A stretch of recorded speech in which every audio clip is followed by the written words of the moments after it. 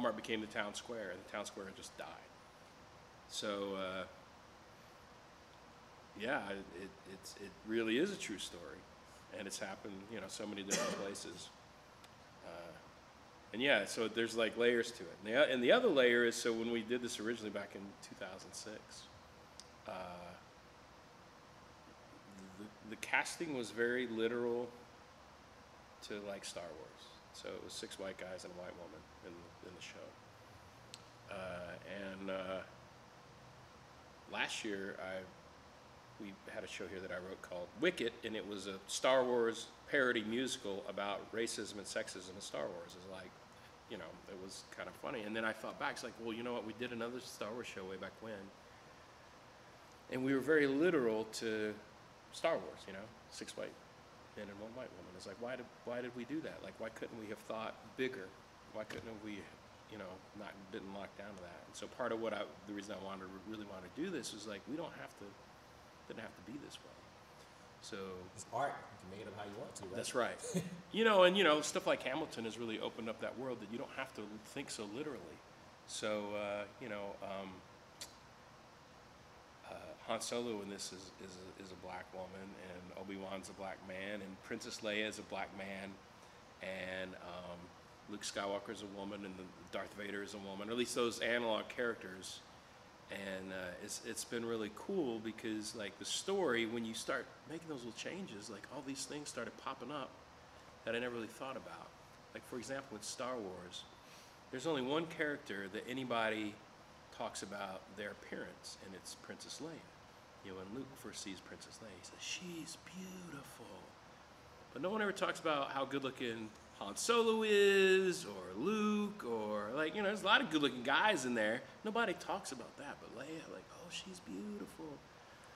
So suddenly, when that character is a black man instead of a white woman, and all these people talk about what a good looking, like, look how good he is, like, good looking he is. And it felt, it just felt strange. And like, it's like, well, that's interesting. Like, we should lean into that. And so now everybody's talking about how good looking he is, and he wears shorts and you know shows his legs off, and everybody is constantly you know commenting on his how, how what a great looking guy he is, and it's it's just it's just interesting that and it and it feels remarkable, right?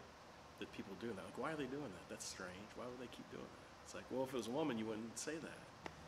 And then there's a scene that's kind of the, the analog to the very first scene of Star Wars where Princess Leia's ship is trying to escape and Darth Vader comes on and you know takes her uh, into custody. And then this one, it's the first scene is that char- that analog character is leading a protest and the sheriff comes in.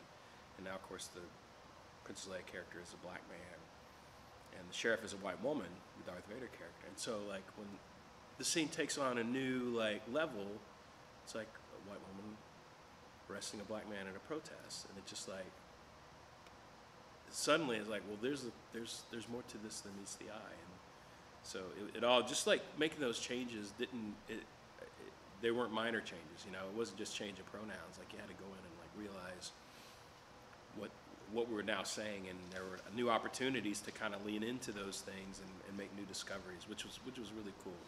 And it's just so much. It's just such a fun show now with like these kind of unexpected. So the, the Han Solo character in this in, in this is is a truck driver. You know, this fast talking. And she uses all this CB lingo and terminology. Ain't a Kojak uh, with the Kodak on the super slab that can slow me down. You know, just like this, this fast riffing, but you know, her being a woman kind of changes it too. It's like it's just a very different perspective. You know, going through the process too, it like